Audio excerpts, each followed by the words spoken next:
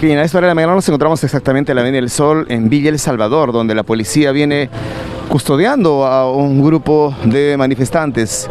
Acá han llegado, han llegado con camionetas, se debe ver ahí cargados, camionetas cargadas con esas personas, incluso camiones también, así luce en este momento. Son al menos una caravana de ocho camionetas, pero también camiones. Ahí vemos que estos, eh, estas personas lo que tienen es eh, palos, palos.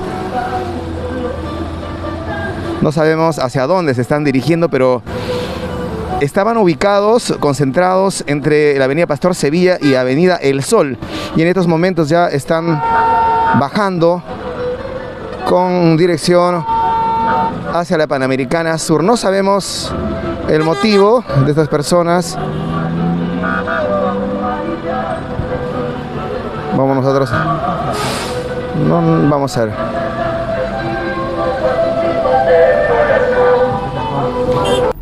Ahí podemos ver entonces cómo estas camionetas están pues trasladándose por toda la Avenida del Sol, están bajando en caravana, hay un camión también grande que está en la parte posterior y la policía los está monitoreando a cada momento el comportamiento a fin eh, que estas personas se detengan y puedan suspender el tránsito vehicular en este punto. Las direcciones de la Avenida del Sol de Villa El Salvador están bajando de manera directa, estuvieron eh, concentrados exactamente en la esquina de la Avenida del Sol con Avenida Pastor Sevilla y están bajando en caravana. Esto ya se sabe también que queda totalmente prohibido cualquier actividad negativa contra la colectividad o contra la sociedad porque tenemos ya el estado de emergencia mediante decreto supremo número 143-2022 PCM, donde el gobierno oficializó pues la declaratoria del estado de emergencia a nivel nacional por el término de 30 días calendario tras las protestas en diversas regiones del país y durante este periodo la Policía Nacional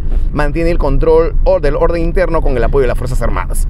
Esta medida entonces fue publicada en una edición extraordinaria ayer en el Boletín de Normas Legales del Diario Oficial Peruano en la que se detalla el estado de emergencia y quedando suspendidos todos los derechos constitucionales relativos a la inviolabilidad de domicilio, libertad de tránsito por el territorio nacional, libertad de reunión, libertad de seguridad personales, entre otros. Regresamos más adelante entonces con mayores detalles de lo que viene sucediendo aquí en Lima Sur.